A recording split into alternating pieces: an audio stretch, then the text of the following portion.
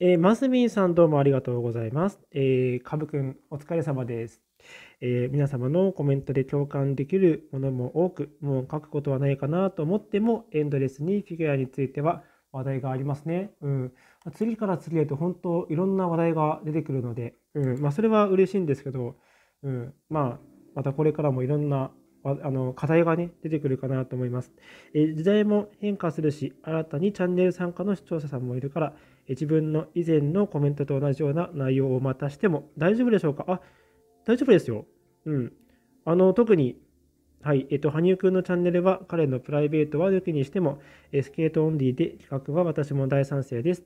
一旦彼のプライベートを見せると、周りに不確かな情報を上げる人もいそうなんで、羽生くんが傷つけられないか心配になります。うん。えー、羽生ファンは彼のプライベートを見たいよりも彼の守りたいという気持ちの方が優先の人が多いと思います。そうですね、確かに。うん。まあ特に、え仙台のその、まあ、包囲網っていうのは強いっていうのがありますからね。まあ、僕も羽生くんのプライベートは全く上げずに、うん、フィギュアスケートだけやっぱりこう教えて、いろいろ見せてくれるって方が、まあ、夢もあるし、僕はいいかなって思いますね。うん。はい。えー、マセミンさんどうもありがとうございます。伝統でコメント2。えジャンプの見分けの件ですが、私も最初はよく分かりませんでしたが、一旦見慣れると割とすぐに分かるようになりました。え簡単に見た目で言うと、アクセルは、え前向きあの踏切で一番分かりやすい EH ジャンプ。EH ジャンプですね、これは。うん。で、えっと、ルッツは、え後ろ向きに長めの軌道から、え左アウトエッジの踏切、右足アシスト、トーループジャンプ、トージャンプですね。うん。えー、そしてフリップはターンから入り、えー、右足のインサイドでエッジ踏み切りの右足アシスト。エサレコーは、え、ターンからのスイープモーションで、え、両足がハの字のようになる E、エッジジャンプですね。ループは、え、右足が、え、左足が右足の上に重なり、足がクロスの字のようになる、え、うん。そして、え、トーループ、えー、ターンから入り、えー、左足を後方につくアシストジャンプで D、えー、川くん補足してくださいということで、これはトーループのことだけでしょうかね。うん。えっ、ー、と、ターンから入って、左足を後方につくアシストジャンプ。その通りですね。その通り、そのままだと思うんですけど、まあちょっと、まあ実際こう、生でね、紹介しないと、まあちょっと難しい部分はあるんですけど、えー、ここだけで分かったら大体分かるようになりましたが、アイスショーで顔や衣装ばかり見ていたり、え、右回転の、えー、選手の時は、え、よく見分けがの動画もたくさん上がっていますが、下記の動画は短くて分かりやすいです。以前にも一度貼ったんですが、よかったら見てみてください。これ先ほど確認してみたんですけど、とても分かりやすいかなと思いますよ。うん。でね、あのー、まあ、他のいろんなジャンプね、難しい、その、見分け方難しい部分あるかなと思うんですけど、アクセルジャンプはとりあえずやっぱ結構覚えやすいかなと思います。まあもうサッカーボールをもう蹴るような感じっていうね、言っちゃうともうすごい簡単に見えてくるかなと思いますね。まああのあとはまあ塔をこれにこうさってこうぶっ刺すのかそれとも違うのかっていうところで見分けはつきやすいんですけどなかなかねもうこれはもう理屈で話してももう本当もうずっとこれもうもうずっと見ていかないとね、うん、なかなか慣れていかないんで、うん、だからもう本当フィギュアスケートオタクになるしかないですね。うんえー、熊手子さんどうもありがとうございます。えー、かぶくんこんにちは。えー、最初見てびっくりでした。えー、最後まで見終わり安心しましたよ。えー、しょうまさんは若手トップスケーターとザ・アイスで座長。え、プリンス・アイス・ワールド、ファンタジー、あ、フレンズ・オン・アイスね、フレンズ・オン・アイスでもレギュラーみたいな感じでしたし、え、ファンタジー以外は特に今年は怒涛のようでしたね。えー、嬉しいけれど心配もしていましたよ。あまりにハードで、えー、しょうまさんは外しなん、あ、しょうまさん外しなんて心配ないですよね。うん。わからないことを言うのもなんなんですが、えー、羽生さんは、えー、海外公演も視野に入れているんじゃないかと思います。今すぐはコロナやサル痘で無理でも状況が許せば、なんかね、変なウイルス、他のウイルスもなんか中国から出たっぽくて、ヘピ、ヘニパウイルスかな？なんかそんな感じの名前の出てやつが出てきて、大丈夫かなってなってますけど、うん。ファンタジーのようにアーティストとコラボって言ったら、えー、誰が来ちゃうのか、すごい人を呼んじゃったりして、羽生さんファンは、えー、ツアーで参加ですかね。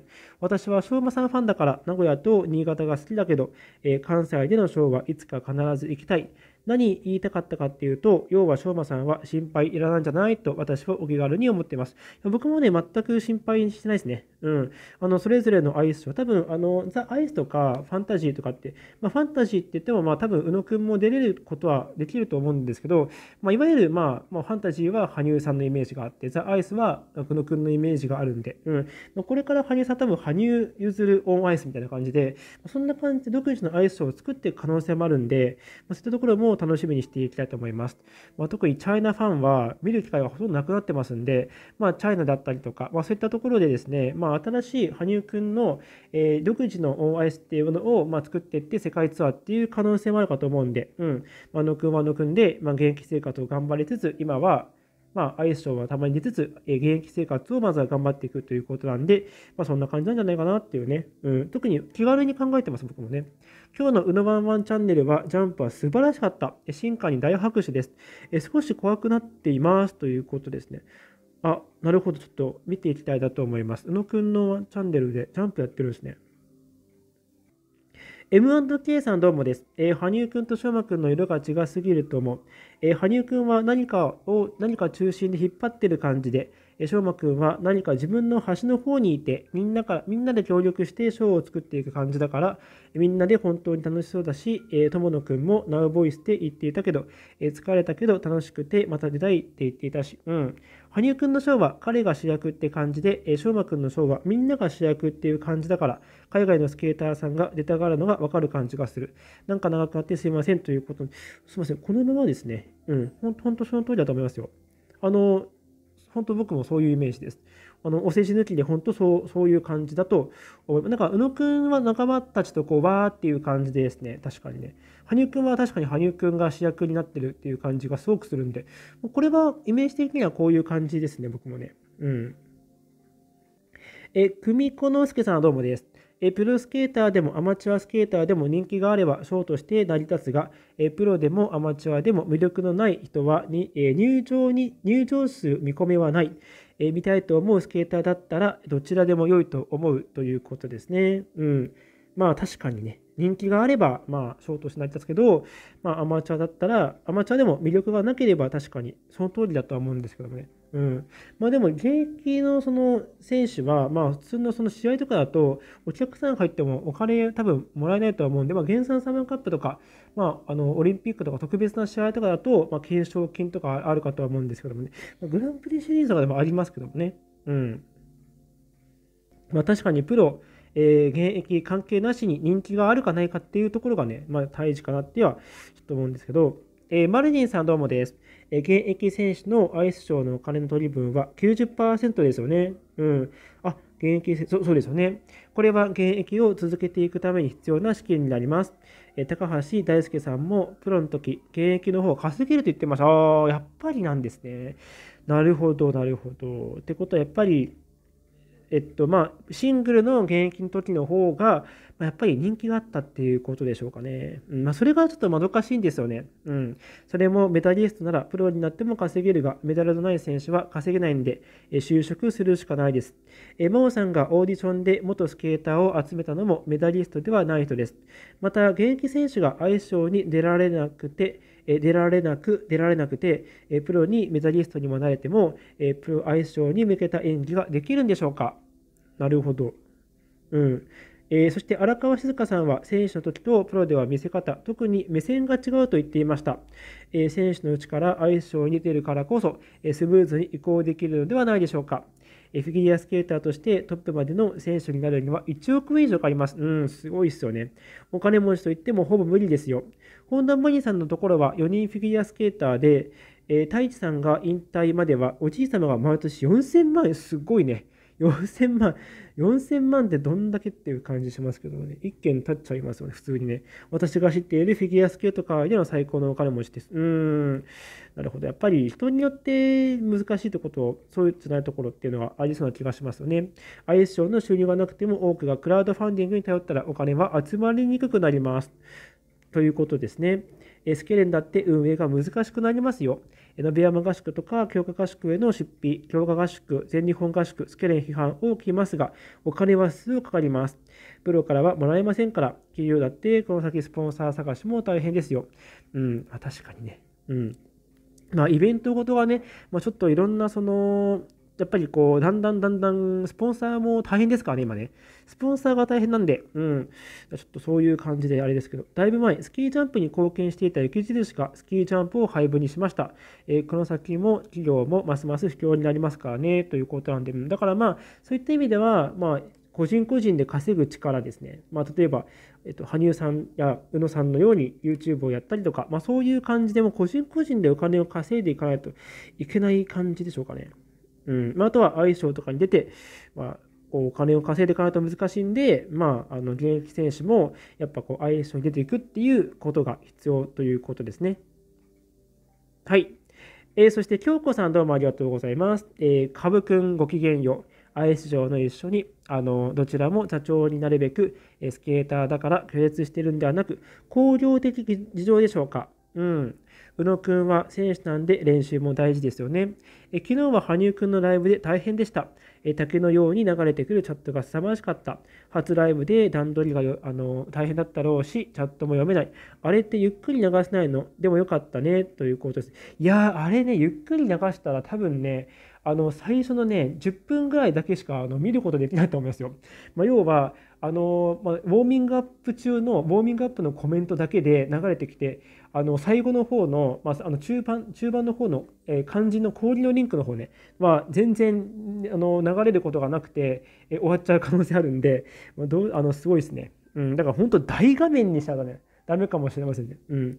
えー、そして、えー、今日は昨日の囲み、えー、個人取材、写真が新聞紙で満開でした、えこれからちょこちょこ出してくるのよ、あ出してくるよ。えスポーツ報知写真部の矢口亮さん、矢口さんの写真、今日の新聞の一面すごい良いお顔ですごい。ということでね、うん、羽生くんめちゃくちゃ男前、えプロの顔だよ。ね。株くんもありがとうございます。うん。まあ、そういうことなんですけども、うん。まあ、だからまあ、ある種の工業的な事情でしょうかね。うん。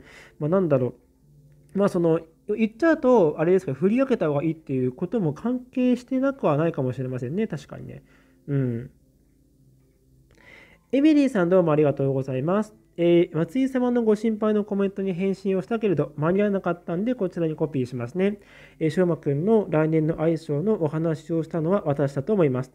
えー、私の妄想ですとして、何日か前に書いたもんですね。羽生くんが取って変わると言ったんではなくて、羽生くんがもし他の相性に、えー、外れるあ出れるならば、えー、しょうまくんは外れるかもという、えー、外れても良いかもと思って書いたんです。えー、工業的に可能という意味で、そりゃファンは見たいし、えー、しょうまくんも人前で滑ることは大切とは話していますが、えー、もう少し充電期間を長くとって、ステファンたちと影響を養う。デニスくんや幸四郎君と男前集合写真に写り込む時間があっても良いよっていうことですね。うん。私、スイスのしょうまくんなんか好きなんですよね。えみんなの笑いの中心にいるようなしょうまくん。え水野さんのトークイベントのアーカイブを見られた方が、えブログに少しだけ感想を書いてくださったんですが、やっぱりしょうまくんの内なる炎、大きくはないけれど、え青く強い炎、それを燃やしている燃料はステファンなんだと思ったと、え皆さんご存知の種子島 P さんのことです。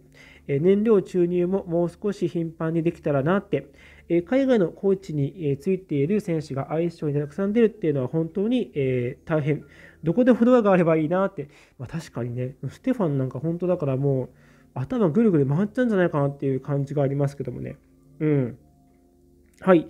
まあそんな感じで、まあ、先ほどもちょっとかぶるんですけど、やっぱ翔馬くんのスタイルと羽生くんのスタイル、かなりやっぱ違う感じがやっぱありますので、まあ、それとあとは工業的な話もそうですけど、まあ、確かにスタイルがやっぱ違い感じがあるので、うんまあ、そんな感じでなんかなるようになっていくのかなっていう感じありますんで、そんな気にしなくてもね、いいっていう感じですかね。うん。はい。あ、そして、ゆめっちさんありがとうございます。えー、かぶくんこんばんは。夕方送ったコメントが消しちゃったのかな？迷子みたいなんで、かいつまんで報告します。ということで、なんかちょっと載ってなかったんですけど、ちょっと見ていきますね。え2日前に注文したしょうまくんのポスターが今日届きました。え、労働衛生週間ポスターが374円で、送料が770円。送料の方が高いですね。え、代引き手数料が330円で、合計が1474円でした。大きさは B 通販で、ということですよ。えー、しょうまくん、可愛かったよ。笑っています。オーボエコンチェルトグレーの衣装です。興味がある方は調べてみてね。ショッピングカードは出てきますよ。ということでございますね。はい。で、えー、そんなの株くんどっちも必要だよ。どっちか一方なんて選ばないよ。勝ってるのはいい。ではまた、ということ。なるほど。そうですよね。だからまあ別に、うん、いい気はするんですけどもね。うん。まああの、まあアイス社のプロ、プロはアイスショーに出るべきだっていうところについてはちょっと、あれかなうん。もうどっちも、まあ現役もいてもいいんじゃないかなっていうね、そういう感じですかね。うん。まあ、僕もね、それでいいかなと思うんですけど、そう、ちょっと気になっていたんで、うん。えー、陸尾さんどうもありがとうございます。引退した選手が活動できる、え、活躍できるアイスショーがもっとたくさんあったらいいと思う。え、せっかくのキャリアがコーチや解説者くらいしか進路がないのが残念です。うん。え、少し前まではもっとたくさんの先輩たちがアイスショーに出ていた気がします。確かに、確かにね。うん。そう思います、僕も。現役選手は特に最近、宇野選手や坂本選手など回数が多すぎて、えー、怪我や疲労がとても心配でした。えー、現役選手はあくまでも試合に軸を置き、アイスショーの回数は本人の望む程度がいいと思う。なんとなく、えー、帰り出されている感じがするのは私だけでしょうか。現役選手がオフシーズンにもっと自由に練習や休息できる環境があるのが理想だと思います。ああ、確かに。確かにね。そうかもしれない。あのまあ、あのなかなかその、ね、やっぱりこうスケレンに属してるっていう、まあ、日本スケート連盟に属してるっていう現役選手になってしまうと思うんで、やっぱこう、半ば強制的な感じっていうのもなくはないかなって思うんですよ。もちろんね、本人が望んで IS に出るっていうことは多いとは思うんですけど、やっぱそういった選手みんな嫌だって言った場合ですよ。もう導入、IS が成り立たなくなっちゃう可能性もあるんで、まあ、その可能性もあるのかなっていうとこありますよね。うん。まあ、例えばあのサポーターあとあのある選手のスポンサーもやっぱ相性をこう企画していたりしますんでそうするとやっぱあのスポンサーについてるからお願い君に出てって言ったら断れないですよね、うん、そういう感じっていうのは多分あると思うんでそこら辺っていうのは、まあ、裏でいろいろあるのかなっていうところはあると思うんですけど、まあ、その可能性は確かに確かにありますね。うん、はい。まああのえっと、試合に向けてそのねあのまあ、それをその自分の演技、えっと、プログラムっていうのを、まあ、作っていくいい機会ではあるかなとは思うんですけど、その可能性も確かにありますね。うん、ぶっちゃけちゃうとね。うん。はい。エビリーさん、そうですよね。男子選手はファンタジーはお休みなんでまだいいですが、女子の坂本かおちゃんは全部出そうになっていましたからね。うん、プリンスの東京キャンセルして正解でした。あのプリンス東京公演は現役選手の皆さんジャンプ不調でしたね。うん、ドリームオンアイスもあったし、大変でしたね。あの若い鍵山選手も疲れてるって心配されていました。えー、珍しくジャンプ決まんなかったですよね。そうそうそう。あんまね、鍵山くんどうしちゃったんだろうっていう感じ、結構決まんなかったんですよ。今日は原産サマーカップがありました。ああ、源さん、ちょっと見てないんですけど、えー、友野選手のショートが80点ちょっとに、うん、80点か。試合に向けての練習は正直できていないということみたいですね。うん。ゲンさん、そう見たいんだけど、これもちょっとまだ見れてないんで、うん。まあ、結果の、結果はちょっとわかるかなと思うんですけども、うん。ゲンさんで宇野友野くんが2位ということみたいですね。はい。えー、そして、跡部陽子さんどうもです。えー、かぶくんこんばんは。私はアイスショープロ、現役選手一緒でいいと思うけどね。あ、いいけどな。えプロも現役選手も稼がなきゃダメみたいだし、でも人気のある現役選手は試合もあるので、怪我をしないか心配です。まあ、そうですよね。まあ、本当そんな感じだと思います。うん。本当そうだと思いますよね。だからまあ、うん。まあ、お金を稼ぎつつ、まあ、あとはさっき言ったように、まあ、借り出されてる感っていうのも確かにあるかなとは思いますね。うん。まあ、さっき言ったように、その、プロになった瞬間に、現役を引退した瞬間に人気が落ちてしまうっていうことがあるんで、そことのバランスっていうのはね、ちょっと難しい感じがありますんで、うん、ただやっぱり、アイスショー出まくってると、まあ、怪我をしちゃうリスクもあるんで、なかなかもどかしいっていうところがありますよね。うん。はい。そういう感じでございます。えー、デーブー・サリーさんよろしくお願いします。中心で引っ張るのは何が悪いのか、座長はそういうもんです。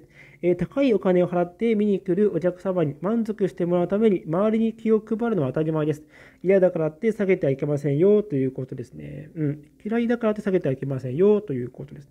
まあ確かにね、相性だからね、まあちょっと見てくる。見に来るお客さんのことを一番に考えるっていうのはプロですので、うん、ただまあだから相性はプロなんですよね。だとだとすると、ちょっとじゃあ現役選手はプロかっていうことになってくるんで、うん、まあいろいろ違うかなと思いますけど、まあでもお客さんもやっぱファンもみんなやっぱ見てて楽しいですよね。うん。多分今回宇野くんがですね、まあそういったいろんなあの相性で、まあ、ミスっても、それでも全然文句とかないと思うんですよ。僕なんか本当、ああ、こういう感じ作っていくんだっていう興味があったんで。